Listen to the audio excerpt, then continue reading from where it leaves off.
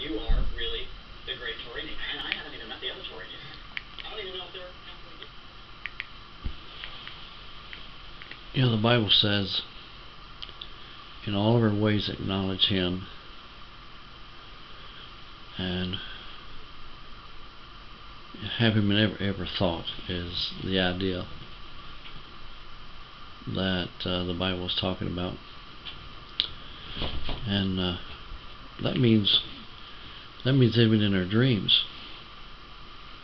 Uh, I remember when the Lord first told me um, that He wanted to be in every part of my life, and I was honest with God. I said, Lord, I don't know if I could handle that because, you know, I love to be in His presence on Sunday, love to sing about Him, and uh, but you know, I was being honest. I didn't think I could do that because, you know, I had to. I felt like I had to give my human part of me some rest away from so much uh, purity.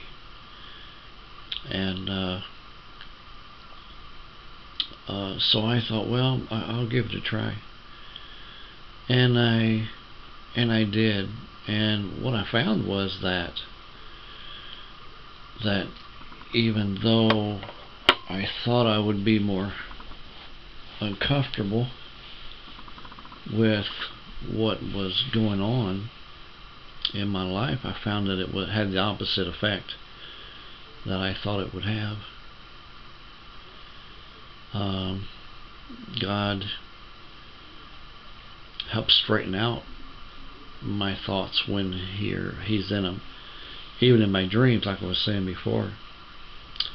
A friend of mine at work said uh, he don't think you could uh, control your dreams.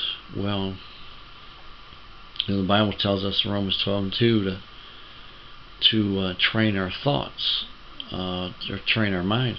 Well, the, your mind is what you dream with, you know, and uh, uh, that that's a part of that. And it says in one place, every idle, every idle word shall be spoken for. Um, and the Lord taught us that if a man lusts after a woman, uh, he's committed adultery already in his heart. And I believe that's even in, in our dreams because of the implications that it has. Because uh, the foundation of who we are comes out in our dreams. Your dreams can tell you a lot about yourself. And uh, uh, I this um, I've learned to um, control my dreams somewhat. Now I'm still not perfect at it, but I've learned myself, I guess, in my subconscious I've learned myself to uh, call on Jesus.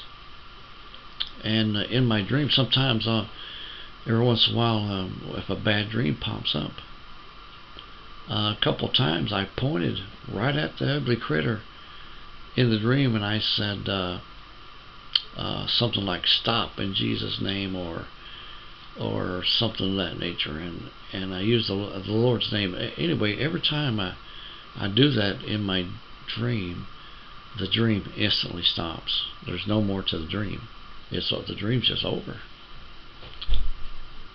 And uh, I think that we're able to, even when we're watching movies, we watch we watch movies and we uh,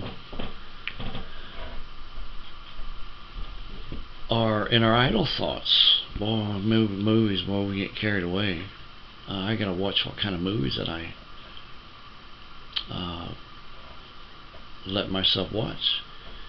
Because I'll be mad and killing right along with the guy on the television in my heart, and I'll be uh, um, watching some uh, wrong things, and well, if you're not careful, you'll some lady will run across there and uh, half dress and all that kind of stuff. And, uh, you'll find yourself on the, you know, like the, uh, world is today, you'll find yourself on the wrong side really quick.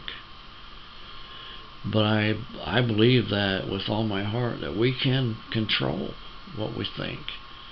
I think that's what love is all about. Love is about control. And I, I believe love is a choice that we choose who we love. It's uh, you you fall into lust. You choose who you love, and uh, I choose uh, what I want to train my mind with. And uh, I like to watch Monk. As a matter of fact, I'm watching it right now, and I think I'll watch a little bit more of it. And uh, you folks think about what I said. You know, study on it. Work, uh, uh, work your way out between you and the Lord. You'll find that uh, God is better to you than what you really thought that uh, He would. And the Ten Commandments, they're all about helping you. They're not about hurting. The Lord came and uh, He said He didn't come to destroy the commandments, but fulfill. And uh, that's exactly what we do. We fulfill. Uh, we have the Spirit of Christ, Romans 8 9. And uh, we're fulfilling those things, just like Christ did. Yeah, I'll catch you later. I want to see what's happening with Monk here.